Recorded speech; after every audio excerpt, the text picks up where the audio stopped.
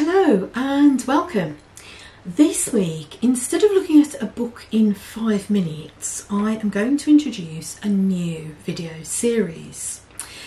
I've talked about a lot of books over the years, um, most of them to do with things like happiness and well-being, um, many of them about positive psychology, about how to um, live well. And in all honesty, it's getting a bit tricky to manage to read a new book every week, especially as things are starting to ramp up a little bit for my dissertation.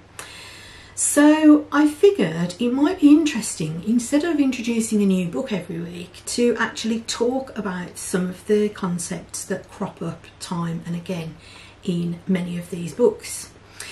So I thought I would start um, by having a look at um, Carol Reef, who is a well-known psychologist um, studying psychological well-being.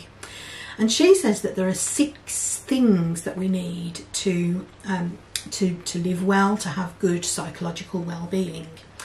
These six things are positive relations with others, autonomy, uh, purpose in life, personal growth.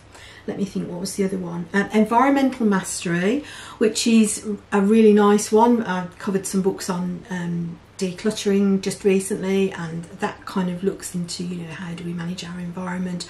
Are we comfortable in our environment? And the last one, self acceptance, which is uh, something that I'm looking at in more depth during my dissertation. So it might well be of interest uh, to talk about that as time goes on. I've also covered a lot of things over the years, things like time management, confidence, um, exercise, making sure that we're looking after ourselves physically as well as um, psychologically. Uh, what else have I got? I've got uh, happiness, productivity, creativity, how to focus. Um, ADHD has cropped up sort of fairly recently. And um, yeah, so just generally how how to live well.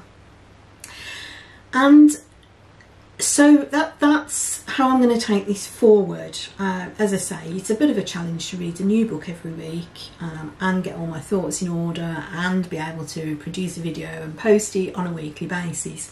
So instead, we'll take some of these concepts and I will look at the same concept for a couple of weeks um, and develop that concept in conjunction with the work that I'm doing on my dissertation on self-acceptance. And um, yeah I think that sort of might be an interesting approach to take. Relate that to the books that I've read which of the books are useful in helping us to to sort of move forward with the, the particular concept.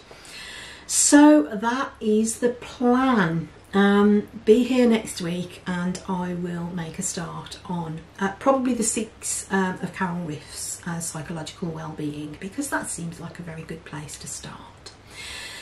Let me know if there's anything in particular that you'd like me to talk about and um, I'll make sure that appears sort of quite near the top of the list. So instead of looking at books, that's what we're going to be doing. We're going to be looking at concepts that crop up time and time again within these books.